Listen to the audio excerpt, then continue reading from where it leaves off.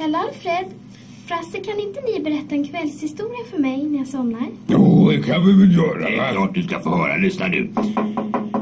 Är du hemma, Frasse? Nej, det är jag inte. Men dina galoscher står här utanför. Ja, jag har två par galoscher. Hörru du Frasse! Eller, eh, nej det var ju du Karl-Alfred.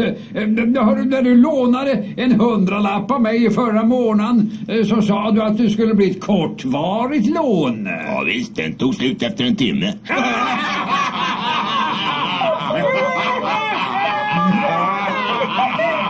Aj, aj, aj, aj. Men jag kan det bra jag! Mor Anna 83 kom en dag till prästen och ville ta ut lysning. Hur kan det komma sig att mor Anna ska gifta sig vid så hög ålder?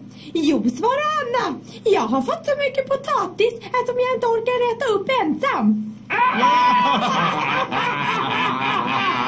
Jag måste få berätta, jag var på restaurang och så skulle jag ha glass och så, så kom eh, servitören och då frågade jag så här, ursäkta men har ni glass här? Och då svarade servitören, nej men vi har kall potatis. Usch! Vad allt är dyrt nu för tiden. Ja, nu har solen gått upp också.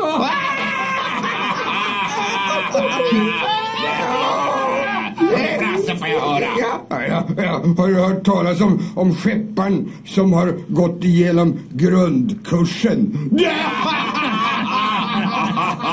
var en smart skeppare.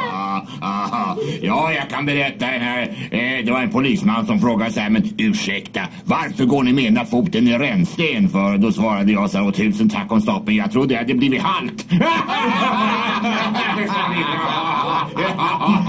Och vi höra lite mer historia. Kan en rolig historia?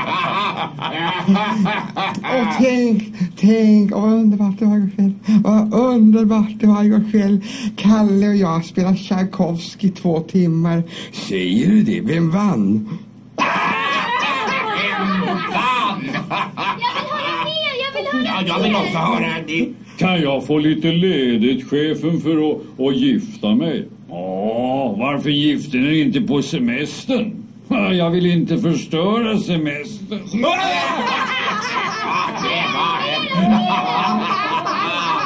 Det. Eh, Är det någon som kan en...